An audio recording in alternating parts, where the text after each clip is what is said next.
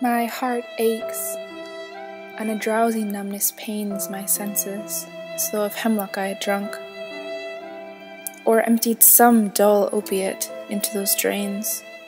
One minute passed, and Lethe-wards had sunk. 'Tis not through envy of thy happy lot, but being too happy in thine happiness, that thou, light winged, Dryad of the trees, in some melodious plot of beech and green and shadows numberless, singest of summer in full throated ease. Oh, for a drought of vintage that hath been cooled a long age in the deep delved earth, tasting of flora and the country green, dance and provincial song and sunburnt mirth.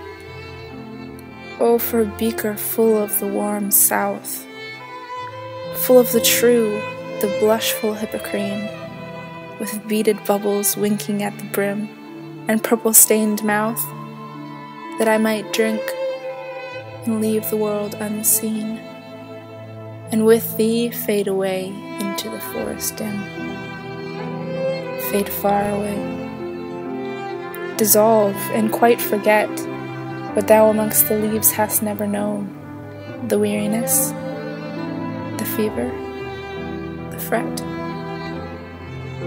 Here where men sit and hear each other groan, where palsy shakes a few sad last grey hairs, where youth grows pale and spectre thin and dies, where but to think is to be full of sorrow and laden-eyed despairs, where beauty cannot keep her lustrous eyes or new love pine at them beyond tomorrow.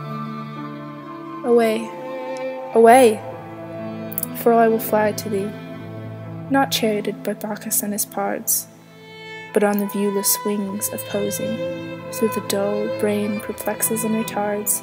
Already with thee, tender is the night, and haply the queen moon is on her throne, clustered around by all her starry fays but here there is no light, save from what heaven is with the breezes blown, through venturous glooms and winding mossy ways. I cannot see what flowers are at my feet, nor what soft incense hang upon the boughs, but in embalmed darkness guess each sweet wherewith the seasonable month endows the grass, the thicket, and the fruit tree wild, white hawthorn and the pastoral eglantine, fast fading violets covered up in leaves, and mid May's eldest child, the coming musk rose, full of dewy wine, the murmurous haunt of flies on summer's eves. Darkling, I listen, and for many a time I have been half in love with easeful death called them soft names in many amused rhyme, to take into the air my quiet breath. Now more than ever seems it rich to die, to cease upon the midnight with no pain, while thou art pouring forth thy soul, abroad in such an ecstasy. Still wouldst thou sing, and I have ears in vain, to thy high requiem become a sod. Thou wast not born for death, immortal Lord. No hungry generations tread thee down. The voice I hear as passing night was heard in ancient days by emperor and clown. Perhaps the self same song that found a path through the sad heart of Ruth when sick for home she stood in tears amid the alien corn. The same that oft times hath charmed magic casements opening in the foam of perilous seas, in fairylands forlorn. Forlorn. The very word is like a bell to toll me back to thee, to my sole self. Adieu. The fancy cannot cheat so well as she is famed to do deceiving elf.